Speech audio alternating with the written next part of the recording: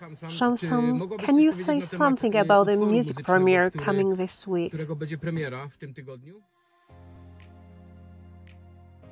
Well, this song that I published this week, um, my friends who got a chance to hear it already called a super hit. English people I who got to hear it already asked me uh, don't I think of going with this song, this hit, to Eurovision contest? I said, they'd destroy me. they'd reach my activist channels and they'd destroy me.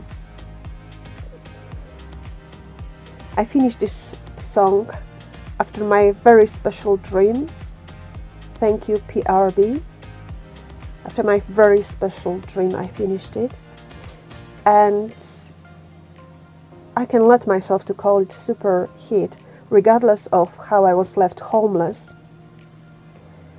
by my record label in USA after 3 years recording contract regardless of how many of my pages groups and accounts they blocked and put down they put down.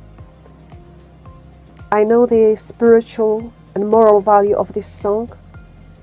I know it's super energizing it's super uplifting I listen to it for hours driving to vulnerable end of life care people and I know its value and to me it's a super hit.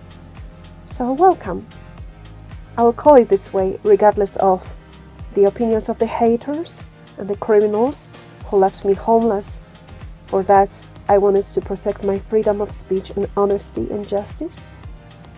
Welcome to my coming music premiere called by my friends Super Hits and in my heart I call it the same way. Welcome on Friday 10th of November. Cheers, Shamsan.